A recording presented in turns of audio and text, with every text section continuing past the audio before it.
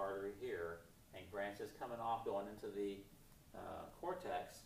This is the cortical radiate artery, and I through the direction blood's going. And these little these little branches off going toward the capillary bed here. This is called the afferent arteriole. It forms this capillary bed called the glomerulus. And the arteriole that leaves is called the efferent arteriole. Okay, so here's your glomerular capsule here.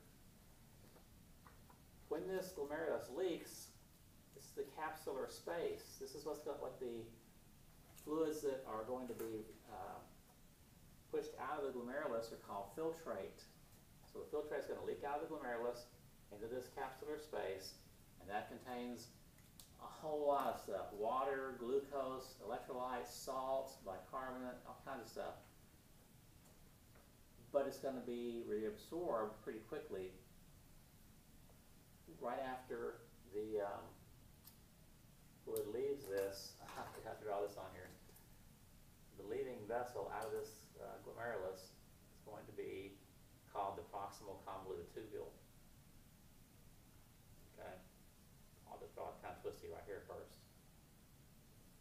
Ninety percent of what's going to be reabsorbed is going to be reabsorbed in this proximal convoluted tubule. So the other ten percent is going to be qualified the rest of the way down the tubule. So we'll talk more about that in lecture, okay? I'm just labeling some things because you can look at the models and tell them.